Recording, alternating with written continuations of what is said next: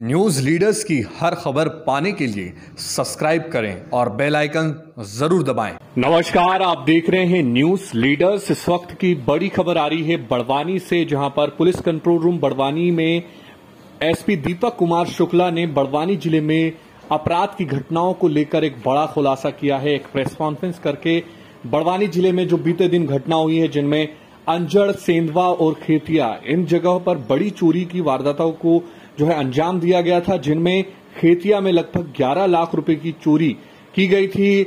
साथ ही साथ सेंधवा और अंजड़ में भी चोरी की घटनाएँ थी, जिनमें अब पुलिस अधीक्षक दीपक कुमार शुक्ला ने खुलासा करते हुए ये बताया है कि बाघ टांडा का एक गिरोह, जो कि पूरे बड़वानी ज़िले में सक्रिय था और ये बड़वानी ज़िले में अलग अलग जगहों पर ग्रुप की तरह काम कर रहा था और ये चोरी की वारदातों को, खासकर डकैती की वारदातों को अंजाम दे रहा था। इनके पास से लगभग जो है फायर आर्म्स भी बरामद हुए हैं। इनके पास से दो वाहन बरामद हुए हैं और कुछ रुपए बरामद हुए हैं। इनको कुल इसमें नौ लोगों को गिरफ़्तार किया है, जिनमें छह लोग अभी भी फरार बताए जा रहे हैं। पंद्रह लोगों का गिरोह को जो है, इसका खुलासा पुलिस अधीक्षक दीपक कुमार शुक्ला ने किया है।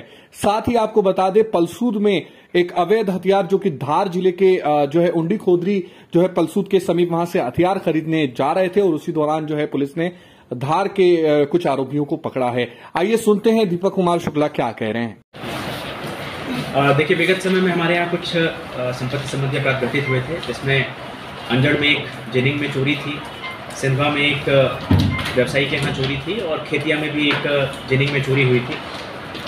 ये तीनों घटनाओं को हमने चैलेंज के तौर पे लिया था और हमारी जो तकनीकी टीम है, जो थानों की टीम है, जो राजपत्रित अधिकारी हैं, लगातार इसमें डेवलप करके हमने कुछ लोगों को चिन्हित किया। और इनको इनको लगातार हमारी टीम फॉलो कर रही थी इसी क्रम में तीन मार्च को हमें पता लगा कि जो ये गिरोह है, इसके सदस्य फिर से हमारे बड़वानी ज़िले में इनका मूवमेंट है और किसी बड़ी वारदात को अंजाम देने की फिराक में है। मौके से जब हमने इनको पकड़ा तो वहाँ से हमने सात आरोपियों को गिरफ़्तार किया और इनके पास से हमने फायर आर्म्स और धारदार हथियार बरामद किए।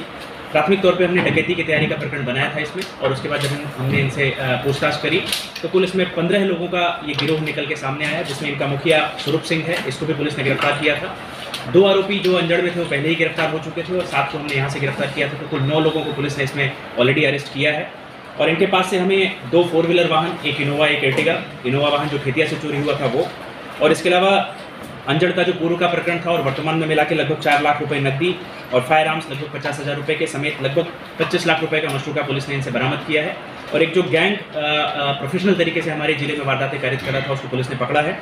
आ, इस गैंग के छह आरोपी अभी भी फरार हैं जिनकी तलाश अभी जारी है और आ, उनकी गिरफ्तारी के बाद इसमें और बरामदगी के प्रयास हमारी टीम करेगी सर इसमें मुख्य सरगना कौन था सर मुख्य सरगना इसमें स्वरूप सिंह है जो कि देवधा बाग जिला धार का रहने वाला है। और ये अलग अलग लोगों को अलग अलग ग्रुप बना के चार छः के ग्रुप में अलग अलग वारदातें करता रहता था। देखिए, जैसा कि बड़वानी ज़िले में हम लोग लगातार अवैध हथियारों के विरुद्ध कार्रवाई कर रहे हैं इसी क्रम में हमारी थाना पलसूर टीम को एक अच्छी सफलता मिली है। ये दो आरोपी जो जिला धार के रहने वाले हैं, हमारे यहाँ उंडी खुदरी क्षेत्र में हथियार लेने आए थे। टीम को मुखबिर से सूचना मिली और उनकी घेराबंदी करके हमने पकड़ा तो इनसे हमें कुल पंद्रह नग फायर आर्म्स बारह पिस्टल और तीन कट्टे बरामद हुए हैं। इनमें दोनों आरोपियों को पुलिस ने गिरफ़्तार किया है और उंडी खुदरी का एक व्यक्ति है जिससे कि ये सामान लेके जा रहे थे उसको भी पुलिस ने चिन्हित किया है और उस व्यक्ति की तलाश भी जारी है। तो पंद्रह फायर आर्म्स जिनकी बाज़ार में कीमत लगभग तीन लाख रुपए है जब्त करते हुए एक अच्छी सफलता हमारी टीम ने हासिल की। पूर्व प्रकरण दर्ज है सर ये जो सप्लायर है जो कि उंडी खुदरी का रहने वाला है इसके पहले से भी तीन आपराधिक रिकॉर्ड अभी हमारे ज़िले में आए हैं और पहले का ये इनामी बदमाश भी रहा है तो वो सारे रिकॉर्ड भी इसके इकट्ठे किए जाए सर पुरस्कार भी करेंगे टीम निश्चित तौर पे इस प्रकरण में भी जो अवैध आर्म्स की एक बड़ी कार्रवाई पंद्रह नग पकड़े हैं, इसमें भी हम पुरस्कृत करेंगे।